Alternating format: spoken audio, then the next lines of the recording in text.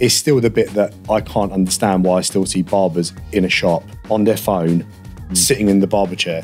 I still don't get it. And you know, you see that come, kind of coming through now on social media because don't do this in your barber shop. You know, if you want.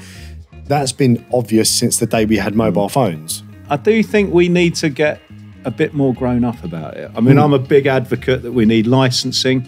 I Yep, think we so should be seen as a proper, proper industry. Same. We should be licensed. We should be, you know, we should be under scrutiny. And if we're under scrutiny, we'll do a better job. Actually, one of them was my mum who said, "Whatever you do, don't do it. You don't know what you're doing, right?" Yeah, I got and, that. and I'm not sure if that's like you know a generation of people that were born in the 50s, kind of you know, or you know immigrants or anything like that. But it was like you know, no, no, no, just just be safe. Just be you know? safe, yeah. Um, so I understood that actually it was all because I didn't want to fail. It's a, it's quite a brave moment that you can turn around and kind of go, I don't know, as an owner to say, I don't know the answer to this. Yeah. Let's work it out. Yeah. It's a really scary place to go. I mean, I certainly couldn't do that with my old company. I always felt like I had to lead from the front. It's like I've got the answer, and I was wrong a lot. When I'm helping someone, you know, in their business, I, I don't think I can speak on things that I haven't fallen flat on my face with. No, but I Um, think it's, it's those fuck ups that Yeah. kind of make you. It, it's so painful and it's such a learn that you really do 100%. learn from them. Hundred percent. and you want desperately to not to stop anyone else having to go through that Yeah. themselves. Yeah, no, I get it. Welcome to The Noble Barber. This is a podcast for barbers by barbers, cutting through the crap of the industry. We all want to know how our businesses can run better. I want to talk to people who've done it, messed it up, and got it right second time round, and can tell us the way that you and I can make our businesses better. Hi there. Welcome to another episode of The Noble Barber. Um, I'm here uh, today with Sam Campagna. Campagna? Yeah. My Italian, Yeah, mate, no, I, appalling. I love it. I'm sorry. Thanks for coming up. Really nice of you to make it. Um, and we were just talking, really. You know, you've had a a journey. We were just quickly chatting about, and um, your new store is thriving, and I'm seeing lovely, nice things about it. But I'm just intrigued as to what got you to your last company and and onwards. So if we could have a quick, quick Yeah. recap, if you like, cool. of, Um, of of how you got into the industry and beyond. Well, it, it seems a long time ago. But Sorry, mate. Firstly, thank you for having me on. Um, I appreciate uh, being able to sit on the sofa with you. And, Thanks, uh, man. It's, it's, uh, hopefully, it'll be a, a really good episode for everyone. Um, yeah, going back to my journey 25 years ago now, um, I started as an apprentice in Toni Guy um, in the era that, you know, barbering was, you know, kind of taking a turn, I would say downwards.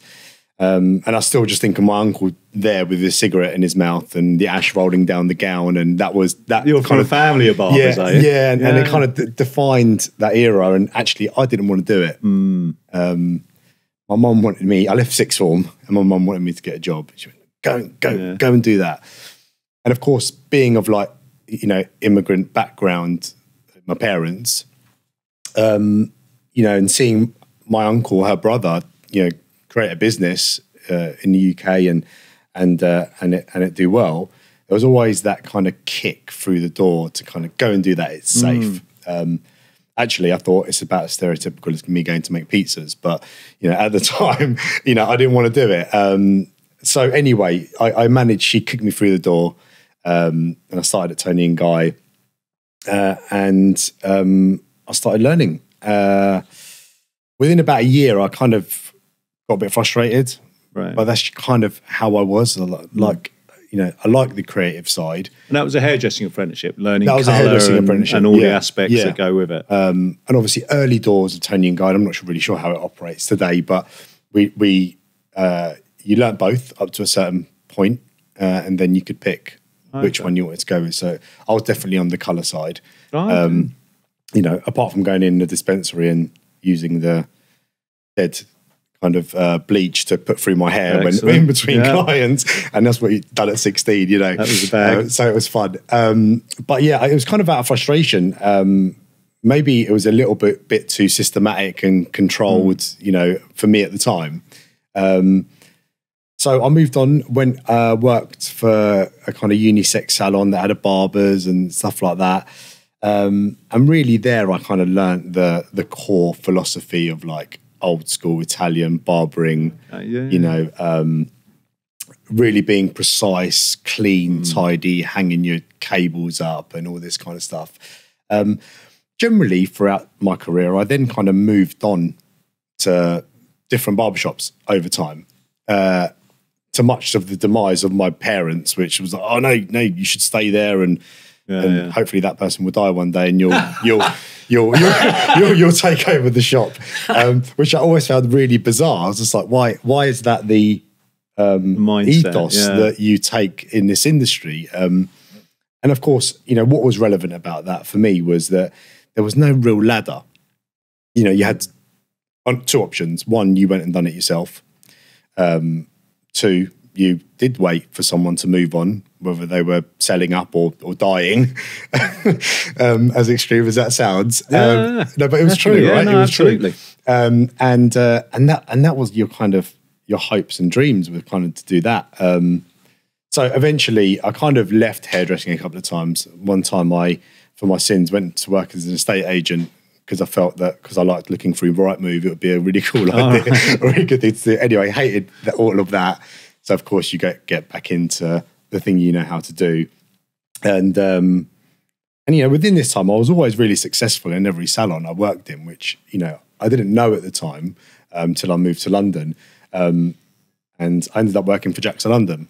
Oh, okay. Um, so, uh, you know, a few people even on the wall team that I worked with, you know, were from that there originally, Right, so we knew each other, um, and that was like probably um, the steepest, but probably the most relevant learning curve in my career because I got pitched against, you know, another fourteen barbers in London, and this was on Wimbledon Bridge. You know, like back then, you know, really busy shop. You know, um, and uh, I turned up, and kind of everyone was kind of looking what I was doing and watching my haircuts. And I started getting a bit paranoid. You know, I was like, "Whoa, like what's going on? Why are they? Why are they looking at me?"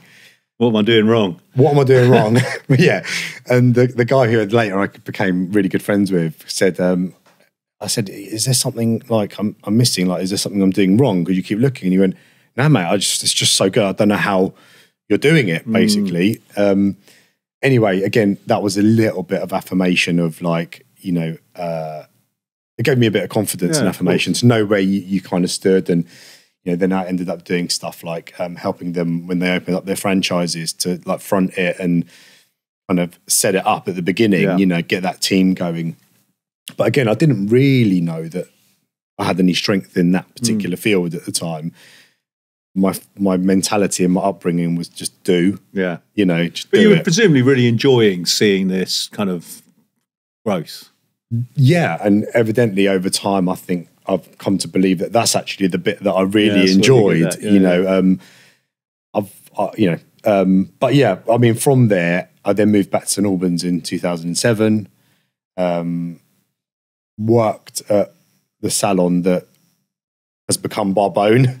Okay, yeah. So I worked there in 07. Uh, recently purchased it in the last couple of years, um, Barbone. And, um, but the, I then left. And again, I, I thought my only option was to take that leap. Uh, and I still remember to this day, kind of met my wife, who's now my wife. And uh, we bought this little cottage, two up, two down. You know, we had a cat. I never tried swinging it in there, but you know, would, it would have his head a couple of times. yeah, exactly. um, so, uh, and I remember just kind of like looking at this property down George Street in St Albans, and it was this tiny little unit, and we were just coming out of the that kind of 08 recession. Um, so I opened in 2010, the first shop, and we were just kind of kind of coming out of that, and everyone went, "Don't do it, you're mad!" Like you know, it's the worst It's been thing a rough old time. Yeah, definitely. been a rough time. Barbering still hadn't really, you know, climbed in in the outskirts. I would say. Um, anyway, I think I let two months pass, and I woke up, got myself out of bed, staring out the my back window. But I'm just going to call. If it's still there, I'm just going to take it, and I'm just going to give it my all. But again, I, I'm not the type of person to really say that. I would just, I decided, and that was it. doing it, yeah, yeah. and. Um, so yeah, and and I kind of like And that was the start of that was the beginning of the alternative barber. Yes, yeah, yeah. Originally, um, so we, I started it, and again, all I ever wanted to do, and my core philosophy in it, without like fully writing it down, but I knew what I believed in. I knew that you know if I believed in something enough, I would drive that forward. And it was like all those frustrations over that over that career, you know, hopping from barbershop to barbershop, you know, leaving a couple of times. And again, I've seen that replicated with people I know and people then I talk to and help and mentor like within the industry. Um, I thought I, I need to build a structure that is almost completely biased to the staff. You know, how do I give them this like really like solid platform? And and really, it, it came down to how much am I willing to support them? And it was like, I would never let them fail. You know, um, and basically we just took people on all the time as a company, and it was you know um, don't make them fail. I mean, within that journey, and that that lasted for thirteen years. Um, I've done so many wrong things, you know, and and it's kind of why I feel like when I'm helping someone, uh, you know, in their business, why it's so relevant. I, I don't think I can speak on things that I haven't fallen flat on my face with. No, but I Um, think it's it's those fuck ups that Yeah. kind of make you. It, it's so painful and it's such a learn that you really do learn from them, hundred percent. and you want desperately to not to stop anyone else having to go through that Yeah, themselves. Yeah, no, I get it. There's some Totally. people that you know will believe and, and feel that you know, um, oh, you know, don't. There's some elements that you shouldn't like Hmm. cross the mark with, and I suppose some of that stuff, um, maybe that I used to give people too much pressure was one of them. You know, I spent the, you know, maybe a good chunk of my career when I started that business kind of almost wanting to believe that the people around you could have the same mentality as you, yeah, you know, um, and but you project that sometimes in, and it Mm. And can come really across negative Yeah. and, and you know, um, but there was an, an immense culture within that business for such a long time, you know, and uh, it was almost like we became kind of local rock stars. You know, Oh, cool. You, Yeah, you would, you would, you know, we would have fifteen people, you know, fifteen person queues, you know, Yeah. every day. You know, we would turn up, you know, an hour early to have a coffee. You know, waiting outside, Yeah. sitting on a stool, and you're like, oh, what, what have I done? Um, the good side of that was that we were the first to go to appointments. You know, Yeah, many many no, years ago. Yeah, yeah. Um, and again, like things that I always thought, how do I always make this better? Hmm. Um, and again, because I was willing to take all the hit for that, I would always push for the idea. yeah. Um, and then that kind of organically really grew. Um, I'd go and see a shop, and be like, right, I've got to do it. And I'd put pressure on everyone, right, we've got to do it, you know. Um, and going back to the building of something, I, I enjoyed designing, building the teams as well as the shops. But it was predominantly people But when you in. kind of move to, I mean, I, I totally get the kind of, you know, launching a new Hmm. thing is so exciting and, and it, and it kind of plays to all your strengths, obviously. But did you find leaving them and moving on to the next one hard? Were you, did you work in each shop or did you, did you put a team in and then leave them to it? yeah, Did you leave the old shop? How did you transition from one to two? Uh, again, this is probably an expectation that you used to put on myself. But Right. you know, we used to build a team in the current shops, and then I would go with them to start that new shop. Oh, okay. So it was never okay. Location open, staff. It was always, you know, I can give those people the trust and and and and uh, the ability to look after this and deal Mm. with that. Um, there were certain system, you know, systems in place that didn't fully allow that at the time, um, and that was just kind of a you know uh, a company structure issue that you know I wanted them to have every bit of control with it Yeah. but certain elements didn't allow it. But yeah, initially I would do that, um, and then it's like they don't need me, Yeah, nice. you know. So um, Well, I say nice. Did you enjoy that when they when you weren't needed? Was that a good thing, or was that your was that the the kind of klaxon for you to go and open another shop up? yeah, yeah, um, Everything's smooth and peachy. Let's go. Let's let's, let's fuck it up again and start all over. no, I don't think anything was ever smooth and peachy, to be honest. um, but it was it was certainly like um, I think I would I would I would say I would sit on the fence with something like that. Like I feel that you know in all these businesses we can take the approach of let's just leave them to it. Um, but I feel that needs to come with a package of I'm here. Yeah, there needs to be that support system. Yeah, and so as long I kind of always used to, you know, I kind of tried to write a mentorship program, you know, ten years ago, you know, um, but I never really could put it down on paper because there was too many variables. I kept on thinking of too many variables Right. to say, you know, we're all individual, and so that was instantly a variable that was really difficult. So it was kind of like, hey, look, you know, I need to be there for them to lean on, but I need to let them run it. Um, that never fully happened, you know, um, with the old company, um, but it got it got pretty close. Um, But again, I always think, you know, as as owners, we're meant we kind of think we think or feel like we're meant to know. Um, and it's only, you know, I, I I I walked away from my old business and started again, and I think at that point it almost gives you a a, a, a moment of clarity to look back at it and go, actually, that was my fault. I can learn from this. I can do it differently. Has that happened with Barbone? uh, yeah, for sure. I mean, Because it, you know- it's a moment that you can be kind of kind to yourself as an owner. I've done all of that. I've experienced it. I've learned it. Um, but you know, setting up your first business is not a kind place. You know, I mean, that was one of the reasons I wanted to do this, so that as bar as store owners, we can talk to each other and kind of go. We all go through this crap, but it's quite a harsh environment as you set up your first and certainly a first chain. I mean, these are all Yeah. big learns. Yeah. and it was you, wasn't it? So a lot of it rested on your shoulders. I, I always go back to a moment that I think is really important to me. And I think, you know, people can come into your business and you can give some of your business away to grow it and investors or whatnot. Mm. And whatever you do with that, that's, you know, whatever, you know, whatever you choose to do.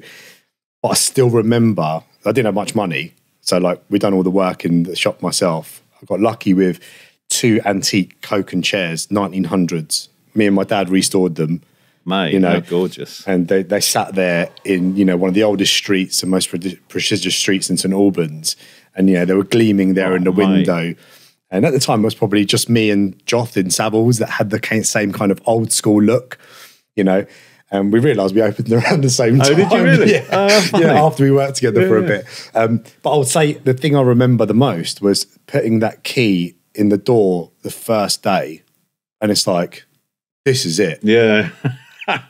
and I would be there early. I wouldn't leave till the, the, the time had gone past Yeah. because everyone was like so ridiculously important to me. Mm. And I think when you put yourself in that moment, I'm not talking about someone who just gets flung a bit of money or whatever. There's a different narrative. There's No, a different what you know, meaning. it feels like your only throw of the dice, yeah, yeah. If if something's set up, you know, and someone goes, "Oh, I'll give you some money for it," I think, yeah, great. But I don't see any creativity in that. Mm. You know, it's like, and I kind of feel like that with a bit with franchises a little bit sometimes. You know, it's like it's a great idea, um, but why can't why can't you do it yourself? But Mm. then what's easy maybe um, to me is really difficult for other people. So I get that. You know, Well, you know, and different you and you having lived it, you've you've earned your scars. You're proud of your, Yeah. you're, you're, proud of your scars, and and don't want to give that up. You know what I mean? You've learned that, you've experienced it, you you understand it. Um, but in the same way with some of your staff, that you've wanted to kind of be there, and you know, a lot of that is about taking the pain out of it for them, isn't it? Yeah, yeah. I think that's. You know, you don't that's- have to make it. It doesn't have to be that hard. Come with me. This is the way we can do it. It'll be amazing. Yeah, um, I think that I would love to say I'm. I've got this. I've always been like this, and I've had the same, you know, mindset and stuff, uh, you know, throughout my career. But it was like 2017, something like that, Right. and I finally kind of. I, I didn't really know how to deal with emotions, uh, and that was anything from, you know, a member of staff letting you down, you know, to to not really knowing how to process my own stuff, Yeah. which I felt I, I feel holds you back. Um, and you know, I had that psychological support, and after that, I had the understanding of what, what everything really meant to me, Yeah. and Yeah. I challenged that. Out of that came um, the information and the data, and you know, to say actually, I don't want this anymore Mm, not the way it is now. You know, like everything leading up to that point was anything from, you know, um, what we don't talk about sometimes is we've got a lot of like charities that you know deal with mental health, and us barbers, you know, we go, hey, look, we we support that. Yep. But actually, we're some of the ones who suffer the most. Right. Yeah. Yeah. No. Right there. You know, Right there. Absolutely. and and you can building a business and not having the right support, even someone to talk to, Mm. and putting all those elements on you, even saying, "Hey, come to me for support," puts that crown on your head, puts you on the pedestal. Then every, every little thing, everyone's coming to you. Mm. You know, um, but from that point, I then learned that everything just kind of came down to I could then make something a process. I, could, I could bring it down. I could narrow it. What you know, anything from is it important? Is it not? You know, um, so when like starting it again, yes, it's relevant what I done, but I almost go that that was that time period, Hmm.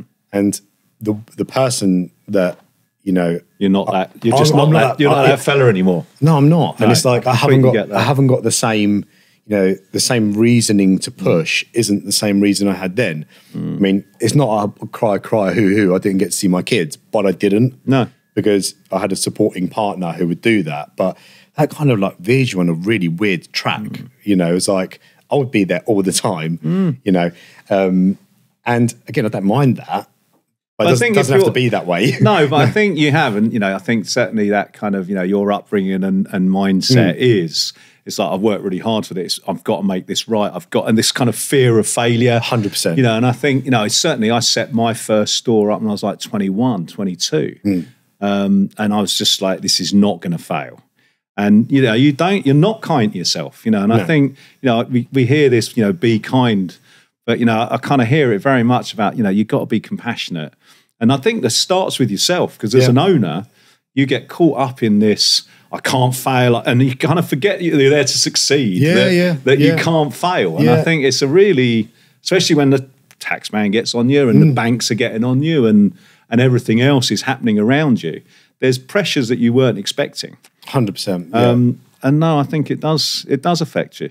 Well, yeah, I mean, I think that was that initial bit that I said where, you know, actually one of them was my mum who said, whatever you do, don't do it. You don't know what you're doing, right? Yeah, I got and, that. and I'm not sure if that's like, you know, a generation of people that were born in the 50s kind of, you know, or, you know, immigrants or anything like that. But it was like, you know, no, no, no, just, just be safe. Just be you know? safe, yeah. Um, so, I, yeah, it wasn't until like that time where I got Hmm. to understand my driving force. I understood that actually it was all because I didn't want to fail. You know, um, And you, you know, I think, I think it takes, it takes, it's a, it's quite a brave moment that you can turn around and kind of go, I don't know, as an owner to say, I don't know the answer to this. Yeah. Let's work it out. Yeah. It's a really scary place to go. I mean, I certainly couldn't do that with my old company. I always felt like I had to lead from the front. It's like I've got the answer, and I was wrong a lot. yeah, But, I think you I think being being wrong and being accountable is that the first step that Mm. you know we should all be taken. You know, it's like I'm happy to say, hey, look, yeah, okay, that thing failed, but what was my part in it? Yeah. you know, and it's never a one person done this or Mm. one person done that because even if it's something like a, you know a breakdown in communication, well, there's two people who can communicate. You know, so Yeah. yeah, think, things like that. Well, that. I think you know. that's it. I think there's always that line that there's three truths in everything: Mm. your side, my side, and what really happened. And Yeah, I think exactly. the more, I think the, the more you, which it sounds like you are now, you get a moment where you can see the what really happened. Yeah. and that's really exciting when you can can look at the truth. Know a bit was yours, know a bit wasn't. At, Yeah. And I think when you can recognise stuff's not always in your control, Mm. You got a bit of a chance at sanity and to enjoy it and, and Yeah. take some of that pressure off your shoulders. I mean, I used to do that thing a lot that I would um, feel the need to respond all the time. Uh, and of course, that can open up loads of cans of worms, can't it? And, you know, things like that. And actually, through the process of kind of discovering what I wanted, I just asked questions. And even if I didn't like the answer, I would just kind of go, okay, I used that as the understanding of the next thing. Yeah. You know, but before I'd be like, oh, hold on, you know, um, let me try and find the solution to this. Or actually, I've been thinking about this loads, and actually, sometimes you don't need to give that, that the answer to those things, or you know, I think questions are really exciting. Yeah, yeah, It- completely. It, takes- it took me a while to learn that. Yeah, yeah, and it opened up a whole new realm. So, um, you know, in this in this new venture, um, Yeah. So when did Barbone? Because I love that because it was the shop that you uh, Yeah. that you worked in prior Yeah. to Alternative, wasn't it? That's Which right. you were just That's saying. right. I think that's Yeah. fantastic kind of kismet or fate that you're back in the same room. Yeah, I, I mean, I'm, I'm sometimes a bit bit too dry, as in I don't really kind of like hold on to those emotions of like should it have been, shouldn't have been. Sometimes I'm a bit like, well, could have It been is. anyone, yeah. Um, which sometimes people think I'm not excited about something, but you know I am. Um, but yeah, we my old boss called me um, with no knowledge to the fact that I was already within this process of selling my original company. Um, so she called me. She said, "Look, I'm moving to Australia. Do you know anyone who wants to buy the business?" And I genuinely didn't have any plans. I thought I might come and work in London for a bit. I might do some session work, you know. But all I knew is at that time I didn't want to be part of that company moving forward anymore.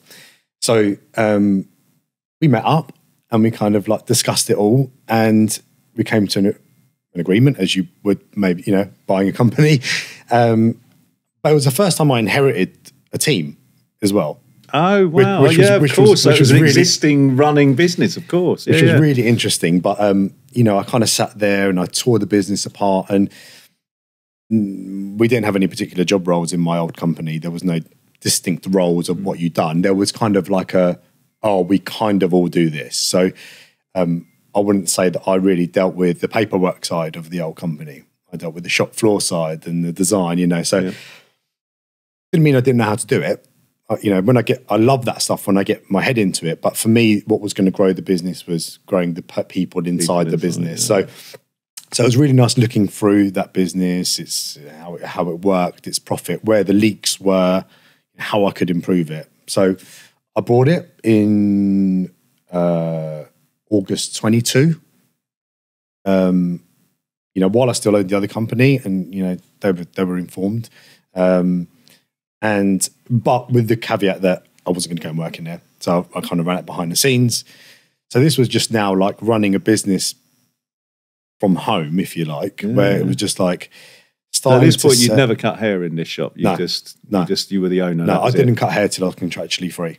Yeah. So you know, I wasn't on the booking system. That must have been like quite a good learn, though, wasn't it? Having a bit of arm's length on the whole thing. That must have been I very mean, weird. Towards the end of the selling of the company, and you know, there was family situations going on. I'd kind of pulled away anyway. Right. um, from cutting hair. Um, but I love that bit. I love cutting hair. Hmm. And it's like, you know, sometimes you think, "Come on, if I could just do that bit, you know, that's the bit that brought me to where I am Yeah, yeah, today. Uh, almost that's the easy bit, isn't it? You know, like, Yeah. um, but yeah, I took it over, restructured it, and I ran it as the old company, um, you know, with the old logos, and it was Chaps at the time, um, really overused common name. But you know, one of those ones that even when I worked there, they used to say "Hello, chaps." I used to go, "Oh, Haven't you still got that email, though? I have, yeah, yeah, I have, I have, I have. I've I was, I'm sure I emailed you yeah, that. I, I've got a new website going, so Oh, I was well like, I'm done. waiting for the new domain to come in. So I just still use that, you know. Um, but again, we did. They, it didn't have these little bits like you know there was no one doing Instagram. I mean, I'm no, I'm no social media guru, Right. but I just think I'm active. I'd rather be active consistently Yeah, yeah. than like you know. Um, but yeah, it was kind of restructuring. Found the thing. Found all the little kind of um, slight little changes. I mean, they were doing you know kids' haircuts. They were taking forty five minutes. You know, so it wasn't particularly a, like you didn't have to be a genius to like work out. Yeah, where the holes um, were. Where the holes were. Yeah. But again, people don't do a breakdown of Yeah, just know, stopping for a minute and having a good look. pound per Hugely, minute. Yeah, yeah. You know, uh, and as cost of personnel have gone up, you know, it, you know, it needs to, you know, you weren't charging forty five pound for a kid's haircut. no, they weren't. So they were, I think they were charging like thirteen pounds. You know, so like when you break it down, you know. Um, but anyway, you know, managing it from behind, you know, I let them put their hands up who wanted to be a manager. They never give, been even given those opportunities before, you know. Um, and we kind of took it from there, really. And this kind of we're a year, a year and yeah, two years nearly down the line. Excuse me. uh, and you know I've been told that we've increased profit by forty percent. Wow.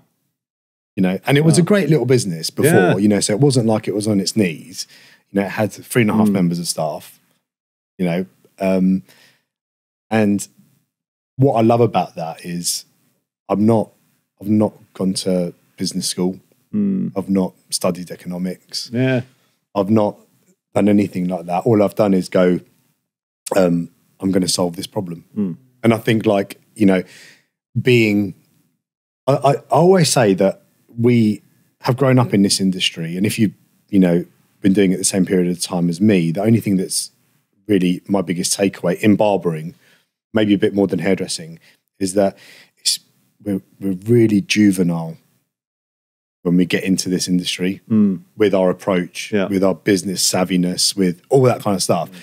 And the danger is that we stay in that mindset for a long, long time. Um, So the bit that was lovely is that I done it through the ability to problem solve. Um, Well, I I'm not to- saying I'm not saying all those other things aren't valid. I'm saying No, that but I you think know, a lot of us get into it because we really love cutting hair, really enjoy cutting hair. And uh, I mean, certainly I was just didn't ever feel comfortable having a boss, didn't feel comfortable being directed. And as soon as I started cutting hair in my own shop, I just felt freer. Um, I've done exactly that. I stood behind a chair cutting hair. I've gone off and, and spent 20 odd years learning the industry and the business. And probably now I'm much more behind the chair than I've ever been before. And I'm really enjoying that aspect of it. Um, but you're right. You need no one. Very few of us go into that with this is our business model. This is how Yeah. we're going to do it. Yeah. It does fall into plan. And yeah, the more I talk to people, I think there's some younger barbers out there that are switched on. You know, they've, and hopefully they're they're learning from the mistakes of of, of others. And um, no, it's really nice to feel, feel that we we're starting to become a more kind of grown Well, up industry. This is why I said if you Yeah. were in kind of my era, Mm. because like you know now it's it's uh, you know people are way more advanced with that stuff, you know, than than ever before, and I love seeing that. But you you're not you're not just behind the chair. You do quite a lot of other bits and pieces. I see you're up at Barber Connect. You Yeah. pop up. You're Yeah. doing some. You're becoming a bit of a media darling on the quiet. Um, you seem to appear a bit more. Is that because you're not just trapping yourself behind the chair the whole time? Are you? I think it was born out of well, I mean, my introduction mainly. I mean, I've done bits and pieces, you know, in the past, um, but actually, uh, if I'm being completely and ut- utterly open, it was a part of the industry that I didn't like. I, Oh, did, okay. I didn't like going to shows. Right. You know, um, you know, oddly, I'd go and watch like you know, someone like you know the Vidal Sassoon bit or Patrick Cameron or Hmm. that's the you know I'm really visual, but people would lose me when they'd start kind of like getting you know. I know this has come up before on your things But on have, your podcast. have you changed your mind, or has it changed a bit? Because you know, because now you're up on stage doing doing that. Yeah, and, and I suppose What changed? the bit nothing really apart from I just I just wanted to translate the way I can I can and like this is why you know there was a post the other day on social media and it was like a barber coach and uh, you know having a kind of ran and uh, which is fine. You know the the industry is really like with its back against the wall at the moment with things like this right? And I speak to you know um, loads of people that own companies clip Mm. companies scissor companies you know and uh, you know they're frustrated you know um, but I just kind of responded you know it was all about sections and he didn't you know it was too why are we making this really complicated it's like yeah yeah you know what it, it, it's a valid point right but there are there is this new generation that are coming in that are also associating that particular way of presenting themselves on social media or on a stage as hmm. pure success because you know I'm from St Albans, home of Menspire, if you like, right? Look Yeah. at a great job they've done. Yeah. You know whether that you deem that that's over sectioning or not, um, it's kind of irrelevant. People learn in different ways. You know, when someone can draw and they come to me and I teach them, oh man, it's heaven Yeah. because I can I can Yeah. instantly translate what I'm trying to say to them. You know, and I'm not I've not always been the best speaker, so I just I don't really like the ball crap Mm. on on you know I might not do it publicly a lot. I've started doing it a little bit more because I need to provoke a little bit. Yeah. You know, nowadays you either need to provoke or you know. Um, so I feel like I have to kind of get my true opinion across. Yeah. And um, I was always like that on stage. Um, 20, I think it was 2017, 2016, you know, uh, I got signed by Wahl and I was really, um, it was a real honor and a privilege um, to some extent to, you know, become really good mates with Simon Shaw, become his right hand man for, Yeah. you know, that great period of time. There was loads of things about that that we really liked. But I suppose my goal was that I worked for that company hmm. and I then completely embody myself in that role. yeah. So I didn't care whether I speak in front of a camera and, you know, give you a barbering tip. I don't care. But if I make that like my old business, Yeah, if yeah. it made it successful, yeah. then that was my that, that became part like in the process. Yeah. it just became like my pure uh, direction. So I saw it as an extension to the business. You know, by proxy, me being up there uh, and me being public like that into the industry public gave our our business clout. Yeah. You know, um, and, and and that's just how I how I always have always seen it. You know, now it's like, do I want to work with these people? Are they nice? Is it a great company? Yeah. yeah, great. You Yeah. know, But you're getting a bit of personal kind of feedback from that, a bit of personal gratitude that you. I always, I've always Yeah. had that. I've always had, uh, you know, if someone says tag a barber online, I'll probably never get tagged. But if I showed you my inbox and people that I've managed to work alongside and with, and you get that, actually, I thrive more on on that Hmm. when someone goes out of their way to say, "Hey, man." You know, when I worked with you ten years, uh, ten years ago, I never realised the impact till like now, Yeah, where I'm so- doing my own thing Yeah. and that's that little bit of like personal success that that I like. You know, um, you know, do I really care if someone thinks I'm a great hairdresser? Not really. Mm. You know, it's like that is. I find that part of the job the easiest because Right. it's just visual. It's- Yeah. Yeah. You know, But I mean, taking it wider and and looking at it, that you know, you've done, you know, you've earned your stripes, twenty five years in the industry. You've set up, owned a chain, sold a chain. Yeah. You started up another store. Really nice brand. I mean, very nice branding, mate. Yeah. Love it. Um, you. and you know, on stage, working with what you know, you've kind of earned your stripes and so on. So you've wandered through the industry. yeah, And I found from here, like you say on stage, the education runs through it. Hmm. Um, a lot of the conversation I have is, you know, oh, it's not young people coming into the industry or they don't want to do it properly or, oh, they've done a 10 week course and they think they're superstars or they've learned at home on TikTok. And it, it, it's quite negative about kind of people coming into the industry. But we don't seem to have a strong apprenticeship scheme hmm. anymore. You know, me and you both came through sweeping floor for a, you know for hmm. For, for stores and cutting hair and, and you know cutting your mate's hair and letting them forgive you and then cutting it again. Um, and you know we went through it that way. Um, it feels like there's a real change in the industry, and I'm not sure anyone's got their head round what's what's the better way. Um, a lot of people coming into it later in life, people in their 30s who've had a career they've not enjoyed, are, are picking up some scissors and they're doing courses and, and coming through. And there seems to be quite a lot of anger in the community of, you know, they bloody think they can do this. And, and I'm not sure how you would get into the industry any other way at the moment.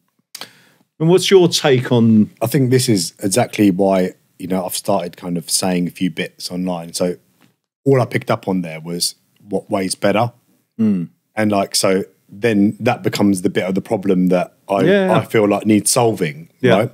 So uh, just to give you a bit of insight on like maybe how I would like think about something like that, it's like well. what- You could do the mundane stuff like better for who, better, you know, better in what way or whatever. So it's like, okay, like, what does this person want to go and do? Right. And if that is be really successful in terms of having a thriving business where their goal is to make money, do you know what? You might want to go and learn on the job with really good people. Might take you longer, you know, it might be harder, but people that actually care about that your outcome mm. of how successful you're going to be in that avenue. I've always felt that courses and almost regardless of who they're with, if I'm being completely honest, I've never received anyone from a course and not have to give them another year of the same thing that I just mm-hmm. said, like. Yeah. to bring them through in the salon. Got to care about their growth, but the quick avenue, I suppose, to some degree, um, creates a problem um, for the other avenue because it kind of directs you at, oh, I can just go and do this thing. I'll come out. I'll have this skill set, so I should be able to do it. And the should bit is where I think those kind of courses end up giving people anger because the premise is you're going to go and do this thing and Yeah. come out. And But the other side, I'm not sure. The I, I, yeah, no, I, I hear that, but I think the other side, I'm not sure the other side's there because equally, no, you know, if you've got a kid that's gone through or a young person that's gone through, um, you know, their NVQ at the local college one day a week, and then they're working in a store the rest of the time, they're not learning. I mean, these guys that are coming out of a college after 18 months, they're not shop floor ready. they're not. Um, you know, the guys that are doing it is, you know, yes, if you're in a store and you're actually teaching someone day in, day out, and as a as a company, your focus is on those young people, then they're going to get there, um, and they're going to be amazing. Yeah. There's just not enough people doing that, No, and, and, and there's not the support in the college. There's, That's right. you know, the the courses people are having to pay for their their businesses. You know, you know, they can get a lot into nine weeks, twelve weeks. You know, they can.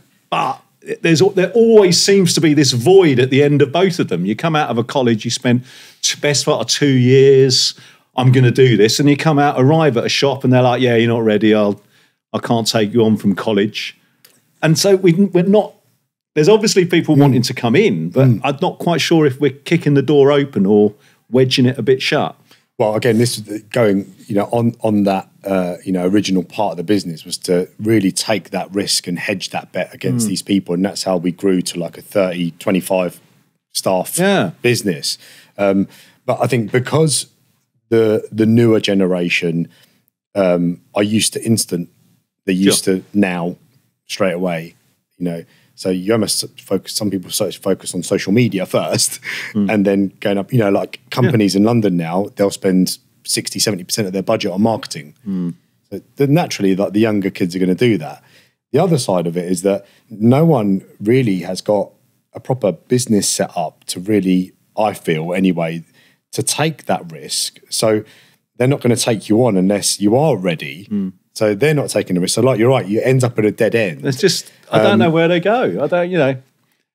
I suppose it kind of And so what happens is you end up with a lot of people going, "Well, I can't, you know, I'm not going to do it," or you Yeah, end up with cutting a lot of from home. disappointed people. Yeah, I mean, Yeah. I've had three people maybe in the last year who have done a quick course um, and then just kind of done it from home. And yeah, you get the odd exceptional person who's like a genius in terms of like, you know, just can grind and work and cut hair Yeah. from home and start getting better and better.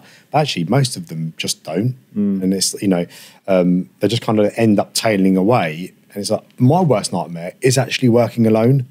You know, like, not Mm. Well, I think certainly. I mean, the barbershop life is is kind of is is meant to be is kind of the big part of it. Being in a team, Yeah. the banter, the kind of buzz. Yeah, well, we had That's the whole. That's the whole point, I think, isn't it? We had someone move away, you know, work from home for two years, come back, and it was really fascinating because he was a great hairdresser. And what was really fascinating is that two years out of the salon, and he came back, things were different for him and for us. But mm. we'd moved on two years as a collective, Yeah. and he'd stayed where he left us two years ago. So he was like, "Oh, what? We don't do that anymore." Like, nah, because like, so he like stayed behind even socially on the shop floor. Yeah. You know, it was, it was I mean, I strange. think it is. It's all about progression. I think. Yeah. And when you're working with people, they force you to be better. You know, you're forced to kind of see someone doing something, and it means you're seeing other people playing, experiencing.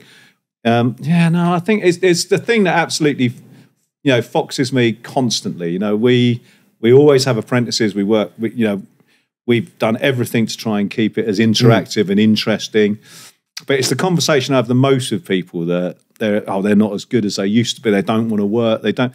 You know, we got great kids that are really doing it. You know, 100%. you know, and they're out there. And you, but it, but the big bit is that as as you know as owners, we got to work with them. You know, and Yeah. we've got. To, this is the interesting thing is we have to work for them.